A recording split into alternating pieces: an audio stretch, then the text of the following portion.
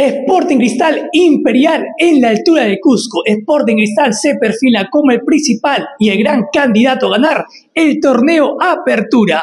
¿Cómo están gente del futbolero? Soy John, tu celeste favorito. Otra vez acá en el sitio oficial de todos los hinchas y más feliz que nunca en caliente después de ver el tremendo partidazo que dio el mejor equipo del Perú. Y recalcar algo muy importante.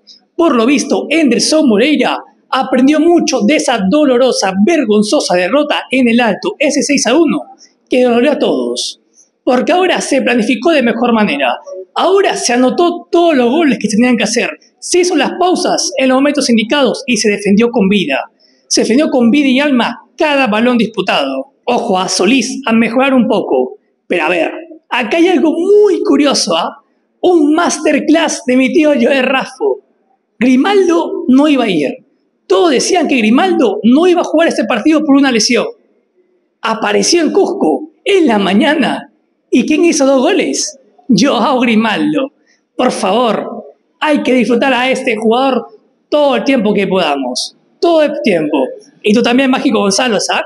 Me gustó tu pasito de guachiturro, papi. Así voy a bailar el domingo, así tengo que bailar el fin de semana. Porque, a ver, Celestes, tenemos que llenar el gallardo. Tenemos que ir a apoyar al equipo. Estamos punteros. Depende de nosotros. Y no hay otra opción más que seguir ganando. Ese torneo lo ganamos juntos. Y te quiero ver el domingo en el Gallardo. Así que te hago la pregunta a ti cervecero, a ti futbolero chocolatero. ¿Ya tienes tu entrada para el día domingo?